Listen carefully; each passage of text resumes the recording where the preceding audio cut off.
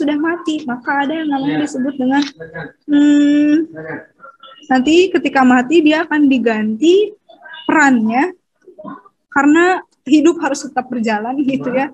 Ketika misalnya uh, si tumbuhan itu masih hidup, yang lain-lainnya masih hidup, maka ketika epidermis ini mati tidak boleh menyerah gitu aja. Maka diganti dengan yang namanya kambium. Tapi bukan kambium yang tadi kita sebut yang uh, mempengaruhi tadi pelebaran lateral ya tapi yang disebut dengan cambium gabus. Cambium gabus ini dari mana? Dia berasal dari namanya jaringan korteks. Apa tuh? Nanti kita bahas ya, jaringan korteks itu apa. Pas di jaringan parenkim. Jadi jaringan korteks itu merupakan jaringan parenkim, jaringan dasar. Jadi nanti jaringan dasar itu kan jaringan yang muda ya, nanti kita bahas.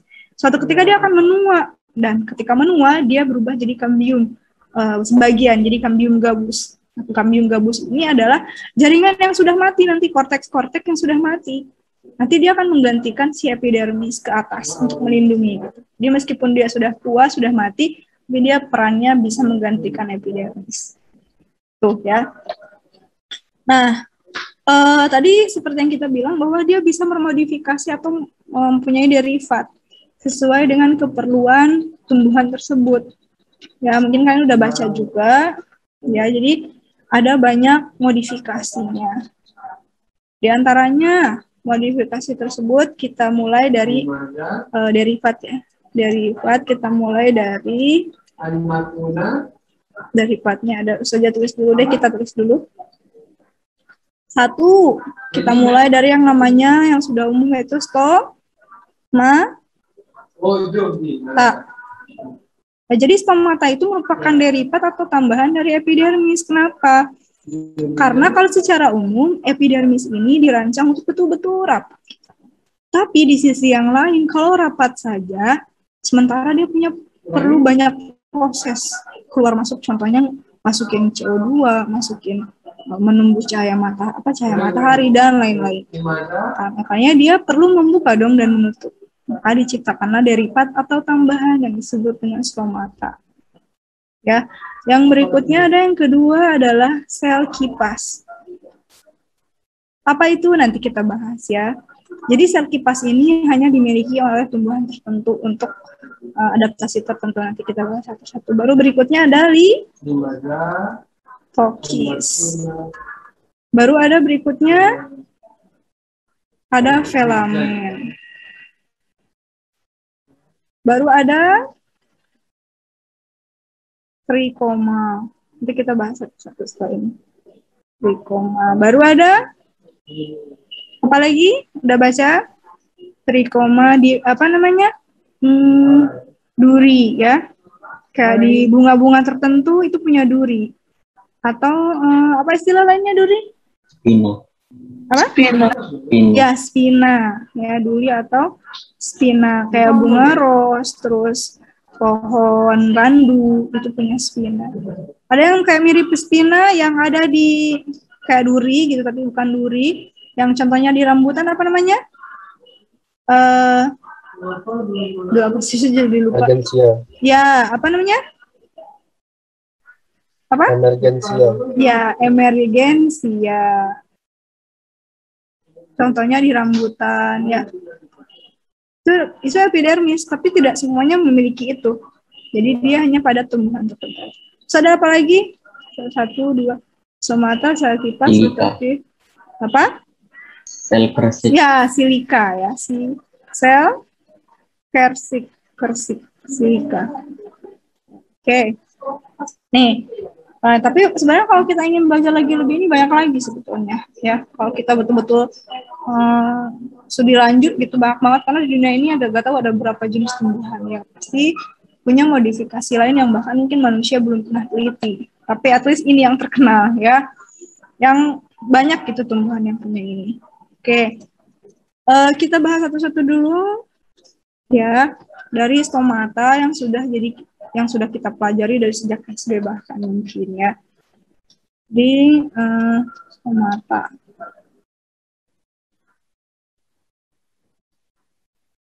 Oke, Nah, karena tadi stomata ini uh, digunakan untuk apa biasanya menurut kalian? Yang kalian tahu stomata ini gunanya di tumbuhan buat ngapain? Hmm? Ada yang tahu stomata Tempat keluar masuk gitu ya. tempat keluar masuk juga ya. Tadi sudah dibilang juga ya. Jadi eh, stomata ini fungsinya tadi karena rapat tadi setiap epidermis itu, tapi dia butuh dong keluar masuk ya. Suatu jaringan itu perlu adanya keluar masuk untuk proses kehidupan juga, untuk keperluan tumbuhan juga. Proses keluar masuk itu berarti ada uh, saat berarti stomata itu membuka dan menutup. Ada saatnya membuka, ada saatnya dia harus menutup. Sama halnya kalau di tingkat sel kayak membran ya. Menutup, menutup ya. Menutup. Jadi nggak boleh terbuka terus juga bahaya, nggak boleh juga menutup terus juga dia bahaya. Ya, jadi harus ada membuka dan menutup. Secara umum kalau kalian masih ingat, stomata itu membuka biasanya malam atau siang? Yang kalian ingat waktu SMP belajar. Stomata akan membuka pada hmm, menutup pada Membuka pada malam hari dan menutup pada siang hari. Oke, ada lagi? Yang lain? Bukanya pada siang ya. Hmm, oke ya. Hmm, oke, berarti ada dua kemungkinan, Zah. Coba saja mau tanya dulu, siapa yang pendak sependapat sama Angga? Ada yang setuju sama Angga? Jadi kalau kata Angga, membukanya pada siang. Saya dah sama Angga. Oke, menutupnya pada malam. Kalau kata Naila, eh tadi Yasmin ya? Nah, kebalikan za, membukanya pada malam hari, menutupnya pada siang hari. Oke, saja dua-duanya akan bilang benar. Saja akan bilang dua-duanya tepat, ya. Tapi ada tapinya. Ya, jadi kalau secara umum ini yang dikatakan Angga. Ini secara umum, maksudnya umum itu apa? Kebanyakan tumbuhan ini melakukannya prosesnya seperti ini. Stomatanya akan membuka siang hari, akan menutup malam hari. Tapi, ada tapi. Tapi, ya, pada tumbuhan namanya CAM. Pada CAM. CAM itu apa? Krasulasen acid metabolic. Atau bahasa sederhananya itu adalah kaktus-kaktusan atau tanaman Crassulaceae. Crassulaceae. Famili Crassulaceae. Atau kaktus-kaktusan. Berarti bisa dibilang ini adalah tanaman yang hidup di mana? Tumbuhan yang hidup di mana? Panas. Ya, betul. Jadi tumbuhan-tumbuhan yang hidup pada temperatur yang sangat tinggi. Ya, biasanya itu dikategorikan sebagai CAM berdasarkan metabolismenya. Jadi ada tanaman C2, ada tanaman C3. Nah, biasanya C2 ini C3 ini ini yang umum tadi. Apa itu Za? Nanti kita pelajarinya di kelas 12 ya. Apa sih maksudnya C2? Apa sih maksudnya eh oh C2? Ada C3, ada C4 tanaman itu. Nah, secara umum banyaknya itu ini tanaman itu secara umum kayak gini. Nah, pada tanaman yang hidupnya temperaturnya panas disebutnya CAM, Crassulaceae acid metabolic. Jadi metabolismenya tuh um, dia terjadi pada malam hari. Nah, eh, pada malam hari. Ya maksudnya uh, ada perbedaan pada metabolismenya atau tanaman kaktus-kaktusan. Nah, dia kebalik.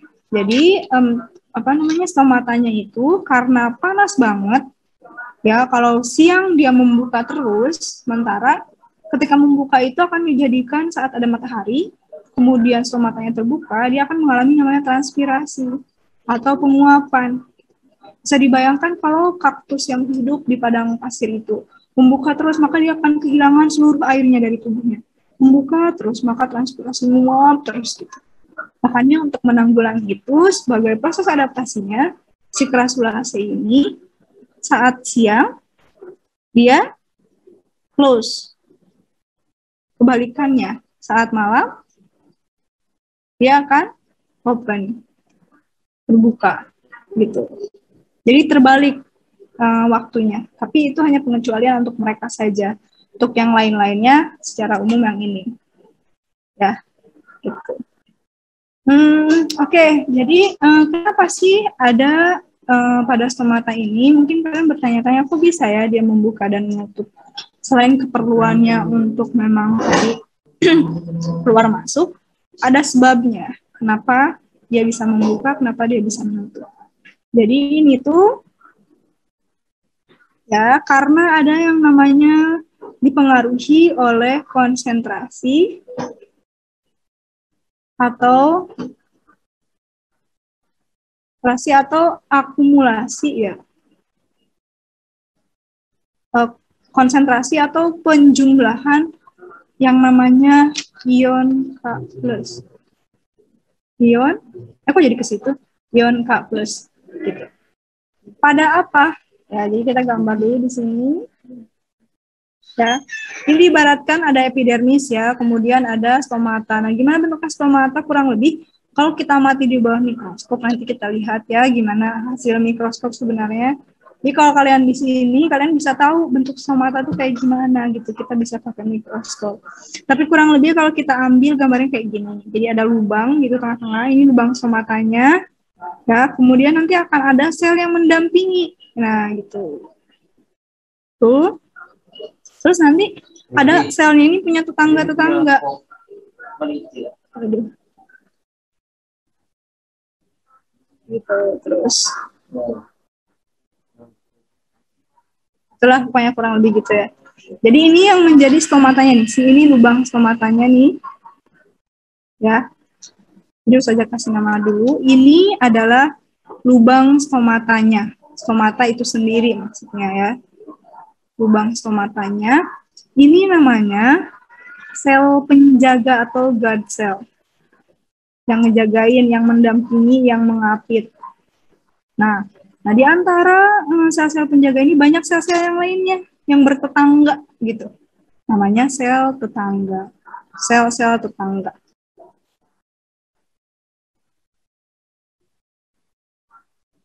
Nah, kenapa sih kita harus tahu ini si penjaga, ini si tetangga? Karena rupanya proses ini sistemata si lubang ini bisa membuka dan menutup melibatkan sel penjaga dan sel tetangga ini. Jadi tidak akan pernah ada ceritanya dia bisa membuka, dia bisa menutup saat tidak ada peran-peran sel penjaga dan sel tetangga. Ya. Oke, okay, uh, eh, kurang lebih kayak gini nih, saja peragaan pakai tangan ya. Jadi ini kurang lebih saat semata kita sedang menutup. Kemudian suatu ketika ini diibaratkan tangan ini adalah sel penjaganya ya. Kemudian lubang ini nih adalah lubang somatanya. Kira-kira senjatanya saat seperti ini sel penjaganya sedang gemuk atau sedang kurus? Saat menutup. Sedang mengkerut atau sedang mengembung? Kalau lagi nutup. Kalau lagi nutup, lagi ngerut atau lagi ngembung? Lagi nutup. Kalau lagi gini, nih kemudian terbuka. Set. Berarti si sel penjaganya lagi ngapain? Men mengkerut atau mengembung? Mengembang.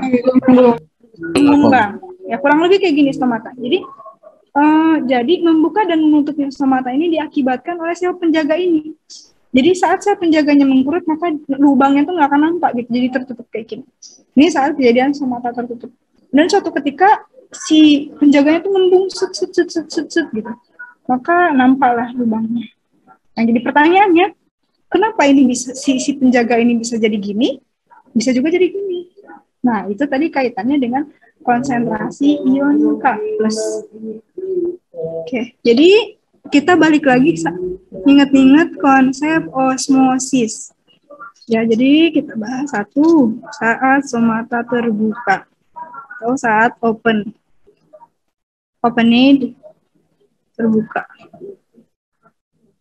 Ya. Jadi saat terbuka ini tadi kondisinya saat terbuka gini apa tadi? Mengembung atau mengerut si penjaganya? mengembung atau mengembang ya atau uh, me, apa namanya ya mele, mengembang ya mengembang. Jadi bisa kita lihat kalau di sini syarat suatu stomata bisa terbuka itu saat ketika si sel penjaganya ngembung atau mengembang atau membesar.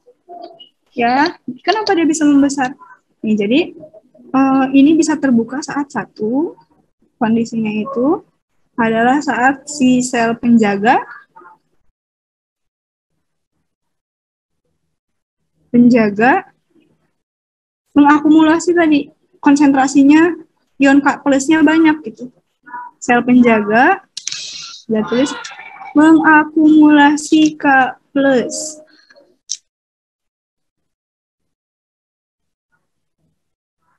Mengakumulasi K plus. Nah, jadi ini tuh si K plus K plus tuh di sini tuh banyak itu K plus K plus K plus. Nah sekarang saja tanya berdasarkan konsep osmosis Kira-kira kalau misalnya di si penjaga ini ada air juga, di sel tetangga ini banyak air juga gitu kan. Kira-kira saat sel penjaganya yang K plusnya tinggi, kira-kira dari mana sel air itu akan berpindah?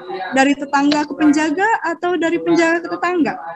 Saat akumulasinya berarti konsentrasinya tinggi di sini. Oke. Jadi dari mana yang berpindah airnya? Atau berosmosisnya air dari tetangga ke penjaga atau penjaga ke tetangga? Hmm, ya, berdasarkan konsep osmosis.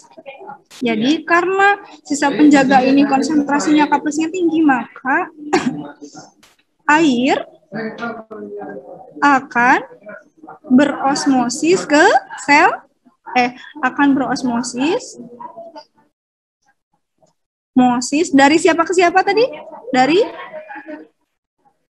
dari tetangga ke penjaga. Ya, dari tetangga tetangga menuju ke penjaga.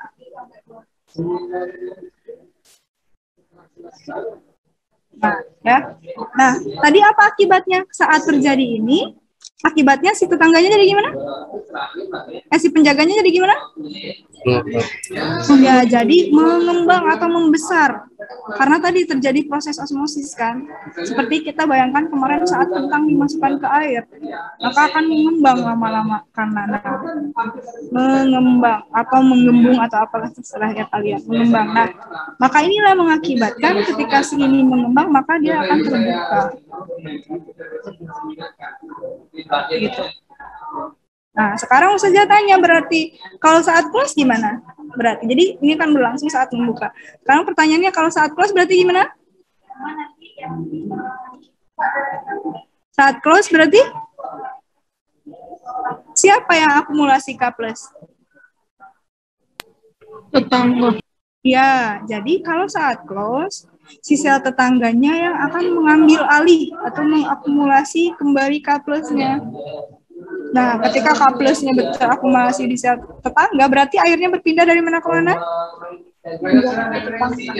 Penjaga ya, berpindah dari penjaga ke tetangga. Nah, saja akan kesimpulannya aja ya. Jadi di sini uh, apa namanya? hmm, saya terus di sini ya langsung aja. Tetap uh, apa tadi? Penjaga. Penjaga berpindah ke tetangga. Ini kesimpulannya aja silakan tulis yang lainnya masing-masingnya. Tetangga maka ini mengakibatkan stomata tertutup gitu. Uh, uh, karena si sel apa ya uh, ini agak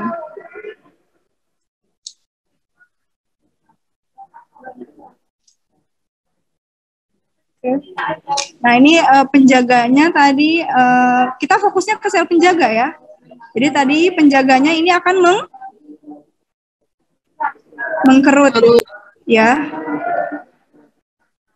mengkerut, ketika mengkerut barulah dia akan close.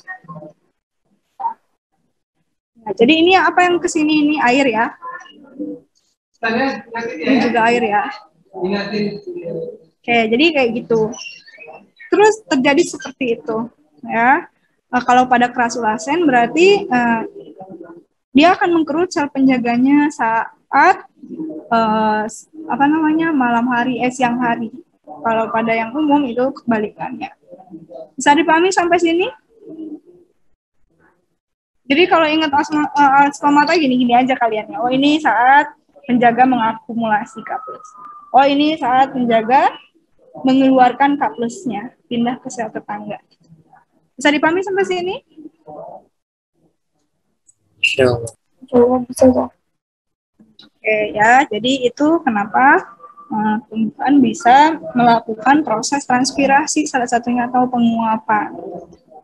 Oh juga kita bisa lihat kalau pagi-pagi itu kadang tumbuhan kan tiba-tiba berair daunnya, ya.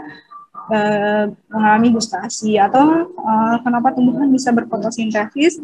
Di antaranya karena dia bisa ngambil CO2 dari CO2, kemudian air yang dikeluarkan saat penguapan, transpirasi, dan proses-proses lainnya meng, uh, melibatkan stomata. Dan stomata ini wajib sifatnya kayak membran semi-permeable ya, kalau di tingkat sel. Dia seperti pintu yang akan decide kapan dia nutup dan kapan dia buka untuk keperluan metabolisme gitu ya. Jadi uh, sebabnya apa tadi berfokus pada konsentrasi K plus pada sel-sel yang ada di sekitar stomata, baik penjaga atau sel tetangga. Ya. Oke, okay, itu untuk um, stomata. Sekarang uh, kita lanjutkan ke sel kipas. Eh sampai sini ada pertanyaan dulu sebelum sebelum lanjut ada pertanyaan dulu. Bisa lanjut? Kita tanyakan silakan. Lanjut atau gimana nih? Lanjut aja, Zah. Lanjut, Zah.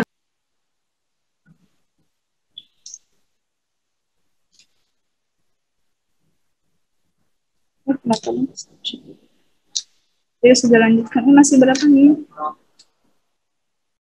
Kok jadi 20 orang? Siapa nih yang nggak ada? PDF. PDF udah ada PDIP nih. Ini PDIP lovers nih kayaknya. Benteng, benteng, eh benteng, banteng ya. Banteng area ini. PDF, kois. Terus, siapa nih yang nggak ada nih ya? Bentar. Satria ya, Satria. Terus siapa nih? Hmm, aduh, sejak Siapa nih empat orang nih? Lima orang malah yang nggak ada. Eh, empat orang deh kecuali Thailand. Siapa tadi? Uh, ya, Nina udah masuk belum tadi? Sempat masuk nggak? Nina, Akila, Nina, Akila, Satria. Nina ada gak? Mana Nina? Nina cek. Oh ada. Tadi siapa? Satria. Hmm. Satria. Bisa ada Zah. Siapa? Raisa. Oh Raisa ya, berarti Raisa, Akila, apa lagi? Soalnya ini jadi 20. Kalian mungkin keluar masuk ya. Uh, mudah-mudahan bisa gabung lagi. Saya lanjutkan aja ya. Hmm. Oke. Uh, masih pada epidermis, suatu tumbuhan. Jadi berikutnya itu ini kita lanjutan judulnya lanjutan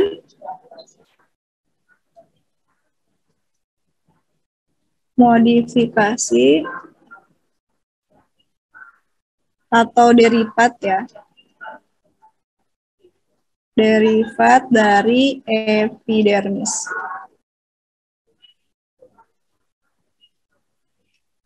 Ya. Oke, uh, tadi yang pertama stomata. Yang kedua, nah kalau stomata ini dipastikan semua tumbuhan punya. Harus bahkan ya. Kalau nggak ada stomata ya dia mati namanya. Berarti dia tidak berproses, tidak berfotosintesis, tidak bertranspirasi, tidak juga melakukan proses yang lainnya. Karena dia adalah kuncinya gitu ya, jalannya. Kalau jalannya udah ditutup ya gimana gitu ya. Nah, sekarang yang kedua, ini adalah modifikasi yang tidak atau derivat yang tidak semua tumbuhan punya, tapi cuma pada tumbuhan tertentu aja untuk kali lagi untuk adaptasi. Yaitu yang disebut dengan jadi modifikasi yang kedua ya.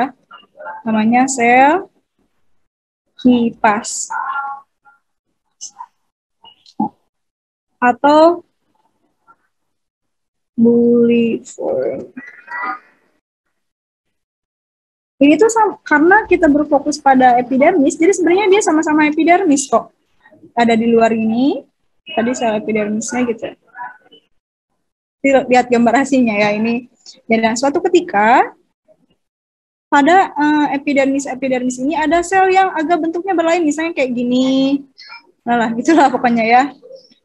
Nggak gini sih sebenarnya, tapi kurang lebih gitulah.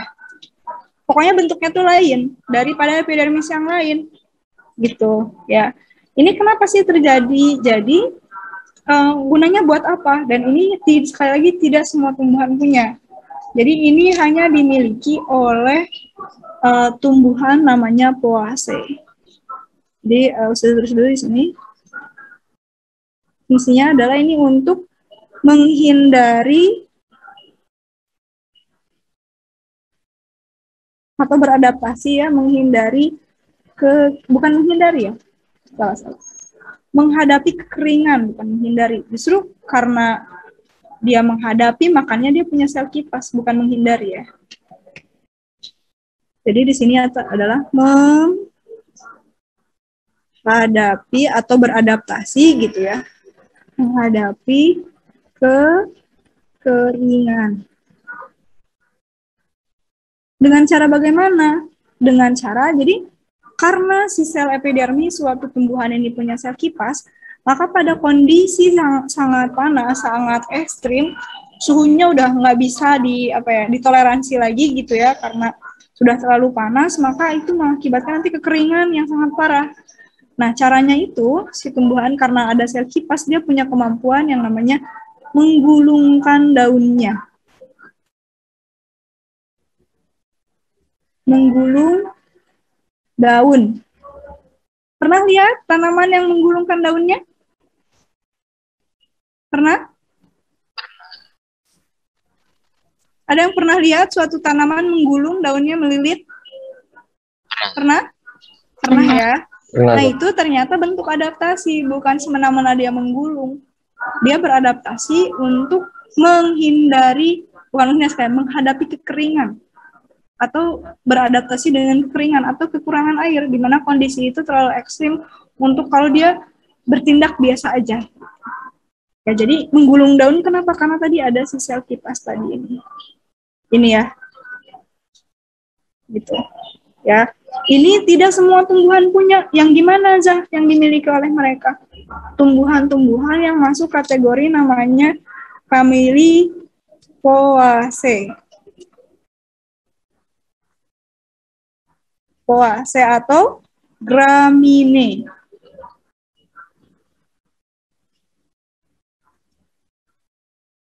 Jadi ini famili apa gitu ya. Ini famili apa sih tumbuhan yang bisa melakukan atau punya sel kipas di dalam epidermisnya? Yaitu Poaceae atau Gramine. Ini apa sih, Ja? Masih ingat Poaceae ini kelas apa? Eh, famili apa? Kalau bisa kita temukan di kehidupan sehari-hari, lupa ya kelas 10 ya ini nama namanya tumbuhan rumput-rumputan. Rumput-rumputan. Ya. Jadi dapat dipastikan baik rumputan itu yang sangat rumput yang sangat kecil gitu ya. Rumput yang ukurannya besar atau pertengahan ya, di mana pun dia hidupnya ya. Jadi karena tumbuh kita tahu kalau monokotil uh, bisa dibilang lebih sederhana apalagi rumput-rumputan, maka uh, apalagi rumput yang kecil gitu ya, tapi ini semua rumput-rumputan punya. Kalau kering itu cepet gitu, makanya kalau kita lihat misalnya suatu daerah ada rumput-rumput, kemudian kering gitu, maka dia cepet menguning gitu ya. Nah sebenarnya kalau kita uh, teliti lebih dalam, si tumbuhan-tumbuhan yang mengering itu nggak tiba-tiba menyerah, gitu. tapi dia akan menggerintil, menggulung, jadi mengkeriting, kemudian menggulung ya barulah kalau misalnya mungkin udah ekstrim banget sudah tidak bisa tertahan meskipun sudah menggulung dia akan mati misalnya. Ya. Tapi at least sel kipas ini merupakan pertahanan gitu. Pertahanan agar dia setidaknya bisa mengupayakan untuk tetap hidup meskipun kondisinya tidak memungkinkan dan tidak bersahabat gitu ya.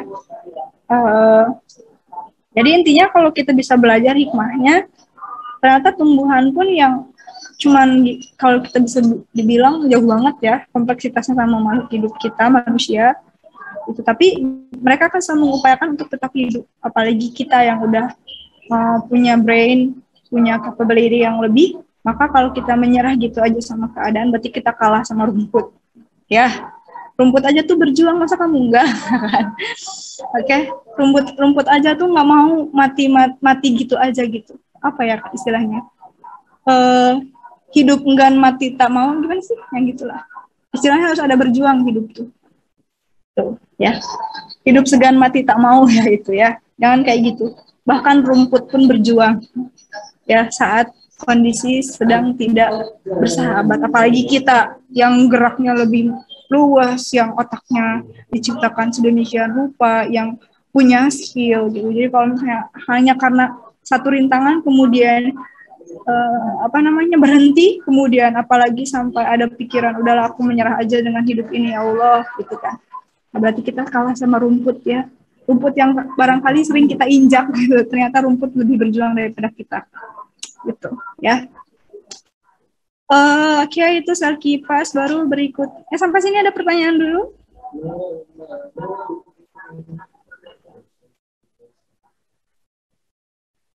masih masih masih connect? Masih ya. masih.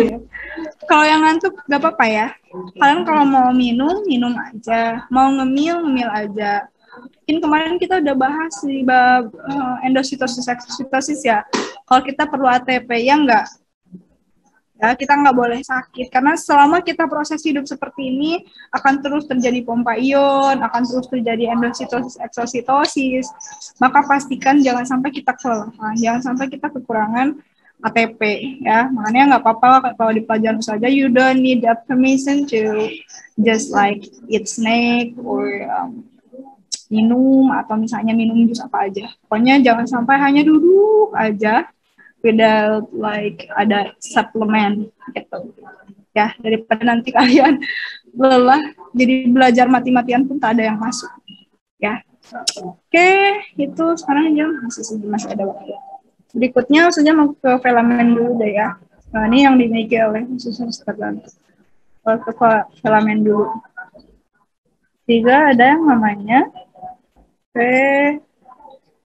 Amin. Udah ada yang udah baca? Ini dimiliki oleh siapa?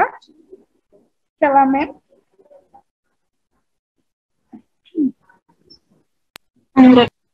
Ya, oleh anggrek. Jadi filamen ini sama ya letaknya di epidermis gini, tapi dia keluar gitu. Nanti kita lihat um, gambar aslinya. Jadi filamen ini dimiliki oleh yang namanya tumbuhan epifit biasanya.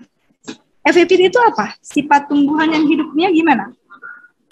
Kalau anggrek kita perhatiin dia hidupnya gimana sih? Nempel sama tumbuhan lain. Ya, betul. Jadi dia menempel pada tumbuhan lain atau pada inangnya. Jadi dia uh, tidak bisa tidak. Kalau dia ingin hidup, dia harus menempel ke yang lain. Dia tidak bisa berdiri sendiri. Gitu ya. Contohnya itu adalah anggrek. Jadi anggrek itu dia nggak bisa kita tanam di tanah langsung. Makanya kalau kita mau memperbanyak atau mengembang biakan anggrek, kita kayak harus ada dijadikan tumbuhan sebagai inangnya atau kayak ada dasar untuk dia eh, pondasinya, pondasi inangnya. Karena mau tidak mau anggrek diciptakan sebagai epifit.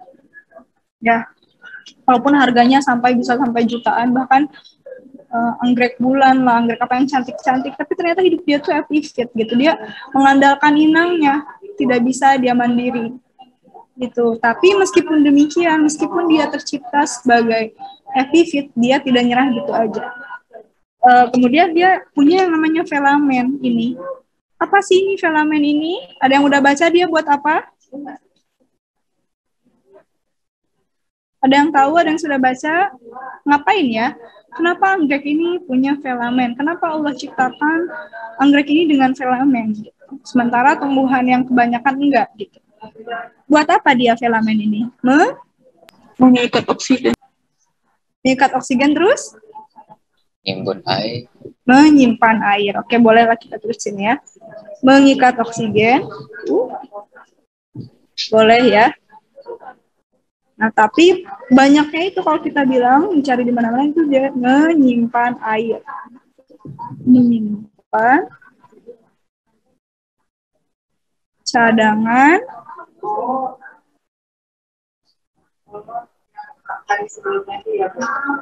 dan air. Oke. Nah, jadi uh, kalau kita lihat di sini sekali lagi berarti memang modifikasi ini diciptakan untuk bertahan hidup. Ya. Kenapa? Karena FPV itu dia nempel, jadi dia akan bergantung semuanya terus pada inangnya. Saat inangnya mati, maka dia harus mati gitu. Kalau dia tidak berpikir dan tidak berusaha, atau dia tidak menyesuaikan diri, atau dia tidak bermodifikasi. Nah, karena ada hal seperti itu, maka dikondisikan sandrek ini uh, punya pertahanan gitu. Jadi saat nanti si sel inangnya, eh, sel inang, tumbuhan inangnya mati atau kekurangan air, dia tetap sehat walafiat gitu. Gimana? Dengan cara menyimpan airnya pada filamen. Jadi saat kondisi tidak memungkinkan pada inang, dia tetap bisa sehat walafiat dengan cadangan air yang ada pada filamen tersebut. Ya satu si anggrek ini bisa dibilang licik gitu ya. Jadi dia akan menyedot air banyak dari inangnya, kemudian dia akan kumpulkan ke filamen. Jadi saat inangnya pun sudah kekurangan air, maka dia akan tetap uh, stabil gitu. Tapi bisa dibilang dua dia kreatif, dia tahan banting, dia nggak menyerah ya pesan dari uh, si pelamen ini, pelamen anggrek ini. Jadi keindahan anggrek itu merupakan hasil dari dia adaptasi, dia kreatif, dia bisa uh, apa namanya uh, karena kemampuan filamen ini. Jadi tidak akan ada anggrek yang cantik kalau tidak ada uh, kemampuan si filamen ini. Itu apalagi kalau kita biarkan si inangnya mati itu ya untuk filamen. Kemudian ada pertanyaan sampai sini sebelum dilanjutkan? Hmm. Yang tanyakan? Ini uh, ini kalian diam ngantuk atau gimana? atau menyimak sangat khusyuk? Atau pasrah aja karena ngejum terus? Nyimak aja nyimak ya, oh, belum belum ada dah oh, belum ada Oke, okay, uh, nah sekarang bisa lanjut nih ya. Ustazah khawatirnya jadi bobok cantik gitu karena Ustazah ngomong terus dari tadi merasa dinilai bobokan terus kayak aduh Ustazah ngomong apa sih udah lah ya gitu ngantuk tidak sadar. And then uh, you don't get anything ya. Ini nggak pada tidur kan? Siap tidak. Ya, Ustazah mau mau cek dulu coba bentar ya. Oke, okay, masih pada on ya. Oke, okay, bisa lanjut ya. Yes. Oke, okay, sekali, ya, sekali lagi nih konsepnya masih mudah banget. Kita hanya mengenal istilah-istilah saja ya. Uh, masih sederhana lah gitu. Ya. Uh, baru sekarang kita masuk ke yang berikutnya deh ya. Sebenarnya boleh dari mana aja sih bahasnya. Nah ini nggak berurutan uh, dari mana aja. Bukan konsepnya harus berurutan dari mana aja boleh yang penting itu adalah merupakan derivat dari epidermis. Jadi maunya sekarang bahas dulu uh, spina. Emer, uh, spina terus saja di sininya karena spina ini hampir sering ketukar dengan emergensi.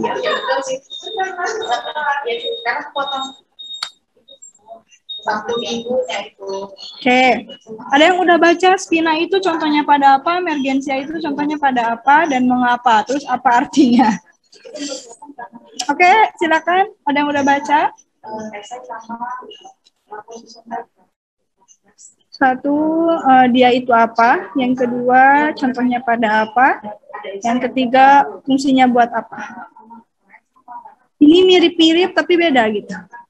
Beda tapi sama, sama tapi beda. Oke, ada yang sudah baca spina itu apa? Contohnya pada apa?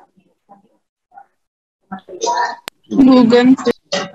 Ya, contohnya spina itu pada bugenvil. Oke, sekarang kita contohnya dulu bunga kertas atau bugenvil. Bugenvil atau bunga kertas. Kalau emergensia contohnya pada Mawar. Mawar. mawar, nah, nah untuk mawar ini saja nanti kita bahas ya. Ini Bu Genfil ini pada rambutan. Eh sebentar, ini ketukar nggak ya bentar? Kalau mawar spina atau emergensia? Emergen. Emergen. Oke. Jadi kalau dulu saja belajar waktu kuliah, eh, si mawar ini ada spina atau duri gitu ya. Dulu, tapi nanti kita lihat aja ya eh, untuk sumber-sumber yang lain. Ini duri.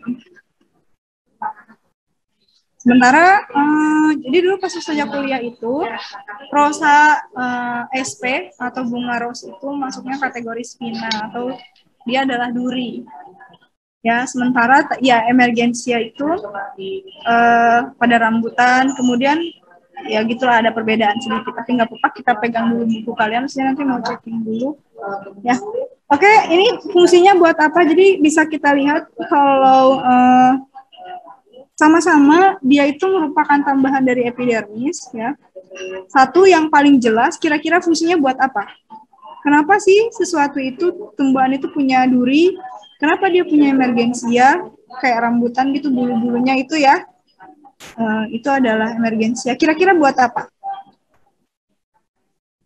Untuk melindungi. Ya, betul ya. Karena fungsi dari epidermis itu sendiri untuk melindungi. Ini untuk melindungi plus-plus gitu. Selain itu untuk apa lagi? Jadi ini protect double protection gitu lah. Kalau tadi epidermisnya sendiri untuk melindungi, ini melindungi lebih dalam lagi gitu, lebih kuat lagi. Sama ya, ini sama juga. Ekivalen. Oke, ada lagi? Jadi untuk spina, eh, kalau dulu saja dibilangnya eh, perbedaan emergensia dengan spina itu, jadi kalau misalnya saat spina itu kita ambil, misalnya kayak bunga ros, kita ambil itu tidak berbekas di pohonnya. Tapi saat eh, si spina ini kita ambil, eh, si emergensia ini kita ambil, berbekas di si tumbuhannya tuh, kebayang nggak? Kalau kita ambil duri mawar, kemudian kita copot, bekasnya itu nggak nggak sampai narik kulit-kulit yang lain gitu. Bayang nggak? Jadi set gitu, keambil aja gitu. Tapi sepertinya tidak berlaku untuk di sini, untuk di berdasarkan buku kalian. Nanti saja lihat dulu referensinya sekali lagi, karena kalau dulu yang saja pegang konsep saat di kuliah itu seperti itu. Jadi nggak apa-apa kalau di sini kita ikutin dulu buku yang jadi panduan kalian. Kita lihat nanti alasannya apa buku morfologi entah ke mana-mana ya.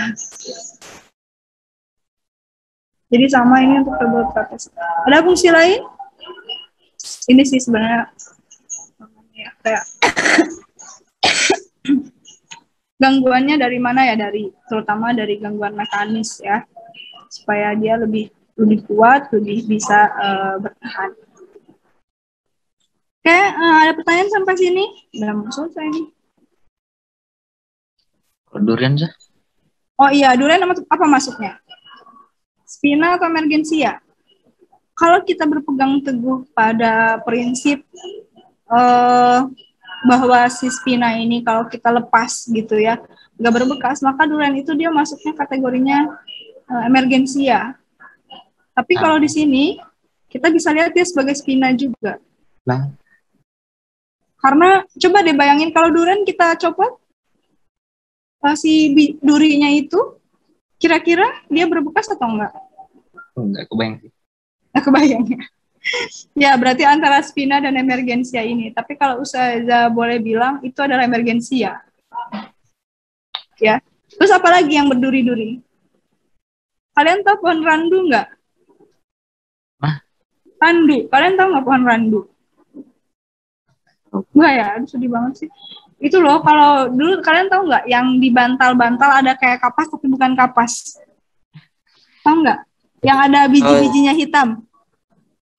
Tahu? Tahu. Ya, itu tuh itu tuh bera- berasal dari randu namanya. Randu itu pokoknya tinggi, terus kalau lagi musim ulat, ulatnya banyak. Nah itu salah satu daya tariknya lagi. Jadi si pohon-pohonnya tuh banyak duri-duri. Nah kalau saja bilang itu adalah spina. Ya, jadi banyak banget durinya. Nah itu adalah spina. Oh, ada lagi yang berduri-duri ber- baik di buahnya atau di pohonnya itu juga merupakan kalau nggak spina emergensia. Ya. Ada lagi coba kasih contoh lagi. Ada duren, ada rambutan. Ada- Siapa? Ah iya sirsak. Sirsak. Nah, menurut kalian sirsak spina atau emergensia? Emergency. Iya, maksudnya juga menurut saya itu adalah emergensia. Terus apa lagi? Eh, Apa namanya? Angka. apa? Semangka? Oh, nangka. Nah, nangka kira-kira emergensia atau spina menurut kalian? Menurut saja emergensia. Emergency. Iya kan? Terus apa lagi ya? Banyak lah pokoknya ya. Jadi nanti kita Ya. lihat ya. Kalau salah Zah. Salak. Oh, pohonnya ya? Iya Zah. Eh, tar dulu bayar. Eh, salak. Oh iya, ininya nggak sih? Di si apa? Bukan batang. Jadi sebenarnya kalau kalau salak itu juga modifikasi ya batangnya. Jadi nanti kita belajar di organ. Jadi sebenarnya ada yang nampaknya dia seperti batang tapi bukan batang. Kayak misalnya hmm, kayak bawang. Yang selama ini kalian anggap pohon bawang yang mana? Hmm? Pohon bawang. Pohon bawang kalian tahu nggak yang mana? Pohon bawang. Wah, lupa. Hah? Pohon bawang. Kalian pernah lihat batang bawang? Kok pohon bawang sih? Batang bawang. Yang mana batangnya? Ya bawangnya itu. Bawangnya. Yang sebelah mananya? Jadi kalau misalnya gambar nih ada bawang gitu kan. Ini ada bawang merah. Begini putih gitu ya. Bawang. Nah ini daun gitu. Yang mana pohon? Yang mana batangnya? Ini bukan. Iya itu Zah. Ini. Ini bukan. Itu dah. Bukan. Ini dua-duanya bukan. Pohonnya itu bat eh bukan pohonnya. Batangnya itu yang di sini. Ini adalah batang. Sementara ini adalah daun. Nih, ini adalah daun. Ini namanya unggi lapis. Jadi ini merupakan modifikasi dari daun. Jadi sebenarnya ini kumpulan dari daun-daun, makanya dari sini keluarlah daun yang hijau. Jadi sebenarnya ini adalah daun yang berlapis-lapis. Jadi yang merupakan batangnya itu yang kecil banget yang kayak akar. Ya. Dan nanti kita akan belajar, tapi sekarang belum belajar ya. Kemudian ada kayak kalian tahu kentang? Kentang itu menurut kalian umbinya atau batangnya? Kentang, umbi, ubi itu apa menurut kalian? Itu adalah batang, ya. Jadi bukan umbinya, itu adalah batangnya. Kenapa? Nanti kita belajar. Jadi uh, di- sesuatu itu dikatakan kategorinya daun karena ciri-cirinya demikian. Jadi ada beberapa yang kita kira itu sebagai mahkota bunga padahal dia daun. Ada yang kita kira itu adalah batang padahal bukan batang. Ada yang kita kira itu adalah sebagai bunganya padahal itu bukan bunga hanya daun. Jadi nanti kita harus tahu sesuatu itu dikategorikan dibilang daun, kenapa, dibilang batang kenapa. Sekarang kita belum belajar ke situ.